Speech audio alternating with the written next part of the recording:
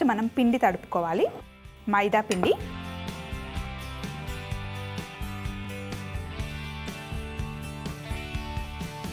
కొంచెం పిండి పక్కన పెడుతున్నాను. మైదా పిండిలో వెన్న. కొంచెం వెన్న పరాటా లాస్ట్కి కాల్చుకోవడానికి పక్కన పెట్టేసి ఫస్ట్ పిండిలో వెన్న వేసి మొత్తం బాగా కలుపుకోవాలి. అలాగే పిండికి సరిపడా ఉప్పు కూడా వేసుకోవాలి. వెన్న వేసి పిండిలో కలపడం వల్ల పరాటాలు చక్కగా సాఫ్ట్గా వస్తాయన్నమాట. ఇప్పుడు తగినన్ని నీళ్ళు పోసి పిండిని సాఫ్ట్గా తడుపుకోవాలి. ఒక పదిహేను ఇరవై నిమిషాల ముందు పిండి తడుపుకుంటే బాగుంటుంది. చపాతీ చేసినా పరాటా చేసినా ఒక ఫిఫ్టీన్ ట్వంటీ మినిట్స్ ముందు పిండి తడుపుకుంటే బాగుంటుంది.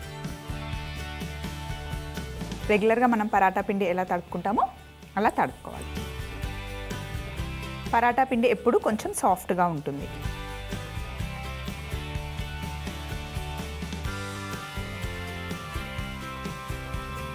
చపాతీలు చేసినా పరాటాలు చేసినా నూనె బదులు నెయ్యి అయినా లేదా ఇలా బటర్ అయినా వేసుకుంటే టేస్ట్ బాగుంటుంది హెల్త్కి కూడా మంచిది.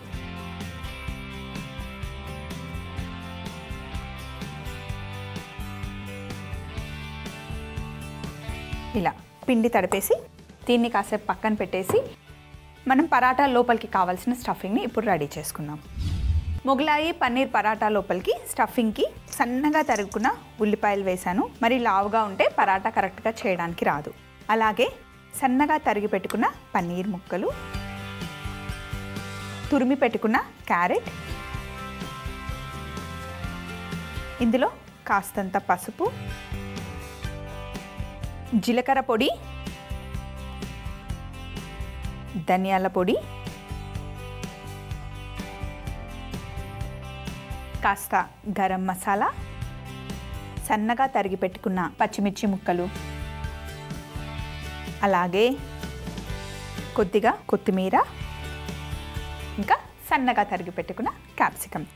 చూడ్డానికి కలర్ఫుల్గా ఉంటుంది. అలాగే టేస్ట్ కూడా చాలా బాగుంటుంది. ఇందులో మనం క్యాప్సికమ్ వేసాం ఉల్లిపాయలు వేసాం పన్నీర్ వేసాం క్యారెట్ కూడా వేసాం. ఓన్లీ పన్నీర్ కాకుండా ఈ వెజిటేబుల్స్ అన్నీ యాడ్ చేస్తే టేస్ట్ బాగుంటుంది మంచిది కూడా. సో ఇప్పుడు ఇవన్నీ యాడ్ చేసేసాం కదా. అలాగే కొద్దిగా మైదా పిండి వేస్తున్నాను. ఎందుకంటే క్యాప్సికమ్ ఉంది ఉల్లిపాయ ఉంది అలాగే పన్నీర్ చాలా సాఫ్ట్గా ఫ్రెష్గా ఉంది. నీళ్ళని వదులుతుంది కాబట్టి కాస్త మైదా పిండి వేస్తే కంట్రోల్ అవుతుంది. అలాగే ఇప్పుడు మనం తీసుకున్న వీటన్నిటికీ సరిపడా ఉప్పు. ఆల్రెడీ పిండిలో ఉప్పు వేసాం. స్టఫింగ్కి సరిపడా ఉప్పు కూడా యాడ్ చేసేసి మొత్తం ఒకసారి బాగా మిక్స్ చేసుకోవాలి. మరి ఎక్కువగా కాకుండా లైట్గా మిక్స్ చేసుకోవాలన్నమాట. స్టఫింగ్ రెడీగా ఉంది. కుక్ చేయాల్సిన అవసరం లేదు. ఎలాగో మనం పెనం పైన కాలుస్తాం కదా. ఇందులో అన్ని పచ్చివే వేసాం. అన్ని డైరెక్ట్గా పచ్చిగా తినేవే కాబట్టి మళ్ళీ కుక్ చేసుకోవాల్సిన అవసరం ఏం లేదు. స్టఫింగ్ రెడీగా ఉంది. ఇప్పుడు పరాటా కొంచెం లావుగా ఉంటుంది.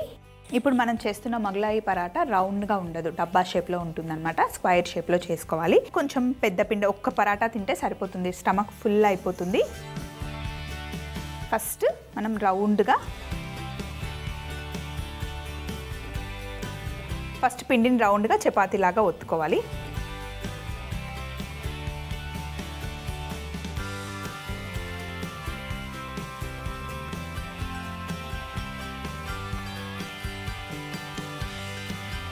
ఇలా ఫస్ట్ రౌండ్గా ఒత్తేసుకున్నాం కదా దీన్ని పక్కన పెట్టేసి ఇంకొకటి కూడా.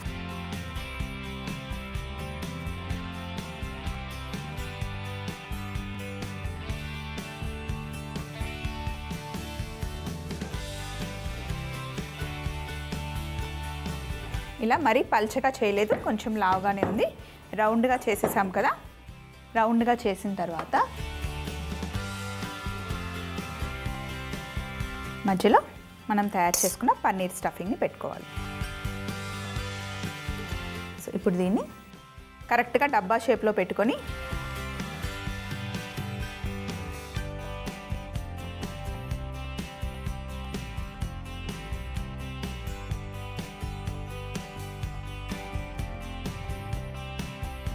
ఇలా ఒక సైడ్ ఫోల్డ్ చేసిన తర్వాత నీళ్ళు అద్దుకుంటే కరెక్ట్గా అతుక్కుంటుంది.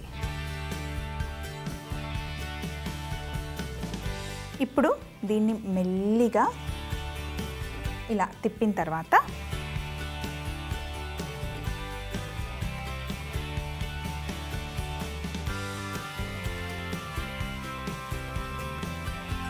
చాలామంది ఒకే సైడ్ ఫోల్డ్ చేస్తారు. అలా చేయడం వల్ల ఏమవుతుందంటే ఒక సైడ్ మొత్తం పిండి ఎక్కువైపోయి లావుగా ఉంటుంది. ఇంకొక సైడ్ పల్చగా అయిపోయి విరిగిపోతుంది అనమాట స్టఫింగ్ బయటకు వచ్చేస్తుంది అందుకే ఎప్పుడైనా సరే ఫోల్డ్ చేసుకునేటప్పుడు ఇలా రెండు వైపులా చేసుకోవాలి. మళ్ళీ ఒక్కసారి క్లియర్గా చూపిస్తాను చూడండి.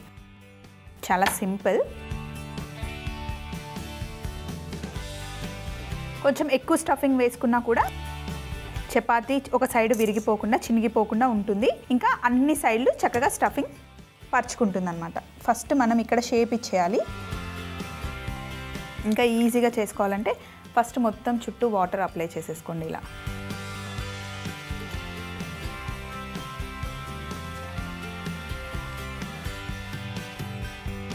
చాలామంది ఇలా ఫోల్డ్ చేసేస్తారు కదా అలా కాదు. దీన్ని ఇలా తిప్పుకొని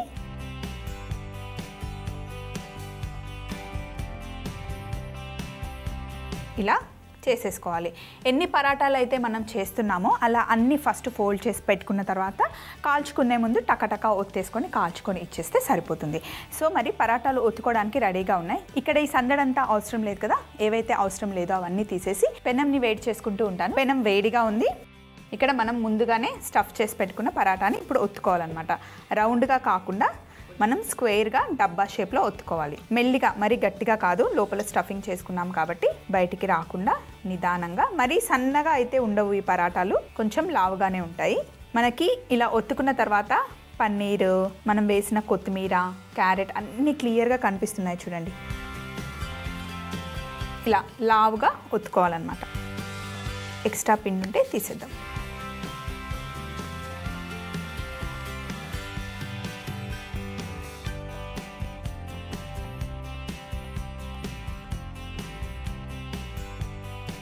ఇలా లావుగా కానీ మనం పెట్టుకున్న స్టఫింగ్ బయటకి కనిపించాలి. చూసారా? మనం ఇలా ఫోల్డ్ చేసుకోవడం వల్ల ఇక్కడ చపాతి ఇక్కడ ఎక్కడ విరిగిపోకుండా కరెక్ట్గా క్లియర్గా స్టఫింగ్ కనిపిస్తుంది కదా? ఇలా ఫోల్డ్ చేసుకుంటే బాగుంటుంది. అయితే ఇంత లావుగా పరాటా చేసేటప్పుడు ఎప్పుడైనా సరే కాల్చుకునేటప్పుడు ముందుగానే నూనె కానీ బటర్ కానీ వేయకూడదు. చక్కగా రెండు వైపులు బాగా కాలిన తర్వాత అప్పుడు లాస్ట్లో బటర్ అయినా సరే ఆయిల్ అయినా సరే యాడ్ చేసుకోవాలి.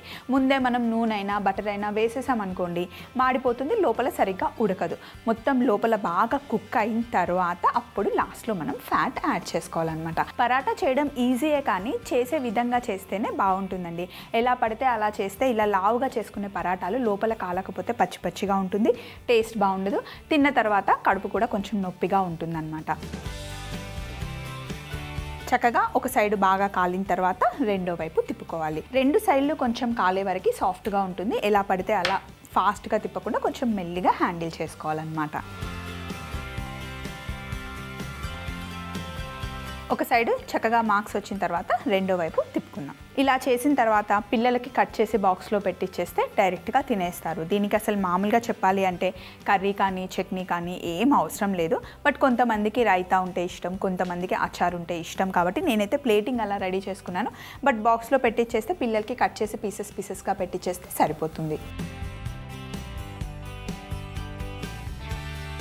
రెండు వైపులా ఇలా మంచిగా మార్క్స్ వచ్చిన తర్వాతనే ఇప్పుడు మనం ఫ్యాట్ యాడ్ చేయాలి. కొంచెం బటర్ అప్లై చేసుకుంటే బాగుంటుంది. పరాటాస్కి ఎప్పుడు బటర్ వేసుకుంటే రుచి బాగుంటుంది. సో ఇప్పుడు రెండో వైపు తిప్పుకుందాం. ఇక్కడ కూడా బటర్ యాడ్ చేద్దాం.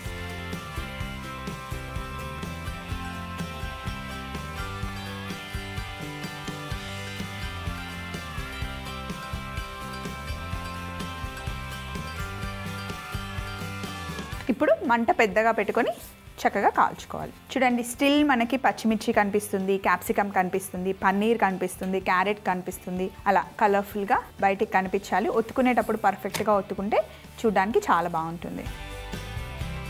ముందు చెప్పినట్టుగా ఫస్ట్ ఫ్యాట్ వేయకుండా నార్మల్ టెంపరేచర్లో కుక్ చేసుకొని లాస్ట్లో ఇలా ఫ్యాట్ యాడ్ చేసుకుంటే బాగుంటుంది అనమాట బటర్ ఎక్కువ వేసుకుంటే పరాటా మీద ఎప్పుడు బాగుంటుంది.